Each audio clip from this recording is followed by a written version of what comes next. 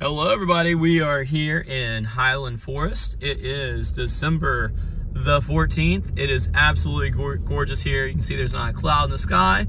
We got those Carolina blue skies, lots of sunshine. It is gonna be 65 today. Um, so I don't know what the weather is like where you are, but it, it is nice here. Um, Highland Forest is almost complete. There's not too, too much activity going on as most of the homes are already finished, but we will give you a little bit of a preview of what it looks like in Highland Forest today. Um, you can see almost all the homes here on the golf course have been complete. Um, and they're looking really nice. It's turned out to be a beautiful streetscape. If you haven't seen the videos of this home, they are on our website. It is the Gustak Custom Residence, and it is absolutely beautiful. We do have a video tour of that as well. And then um, the former model, they have done a phenomenal job with the outdoor living there in the back with those beautiful palm trees and outdoor kitchen. Uh, Denise is doing a fantastic job there.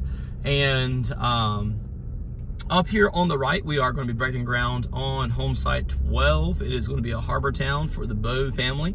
They're actually here for selections right now, so we'll be breaking ground here in the next few months on that empty home site right there. And um, as we go down, we do have a home under construction here at the very end of Highland Forest. It is home site 22, the Barnhart residence. Um, it is a harbor town. It's turned out really beautiful. They have phenomenal uh, views of the golf course.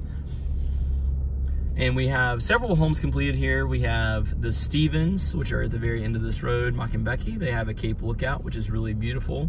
Uh, down the road there is going to be Carol and John Sherman's Cape Lookout, and it is a beautiful home. They were one of the first families to move into this area.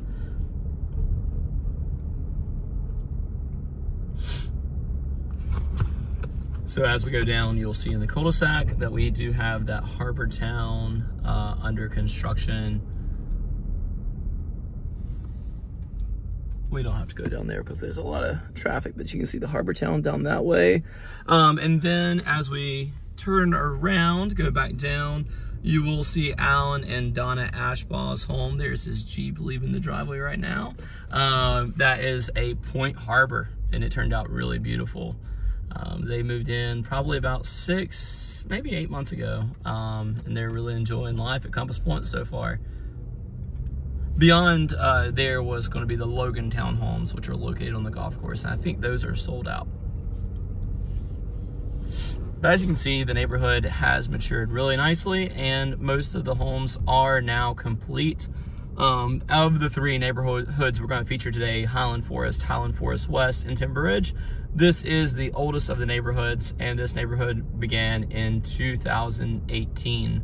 Um, so you can see how much progress we've made on this neighborhood since 2018. And there's lots of uh, videos if you want to go back in time and see what it looked like. I do have video tours over the years of this neighborhood so you can kind of see the progress.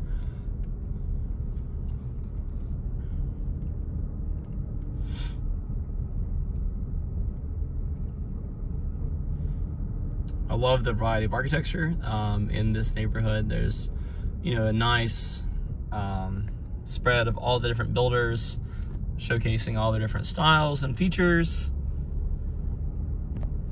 There's that Cape Lookout. That was the model. Many of you may remember meeting me in that home.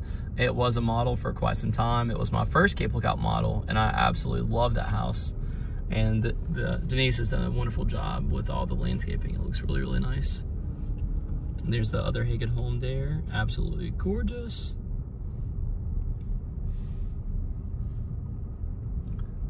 And that concludes our tour of Highland Forest.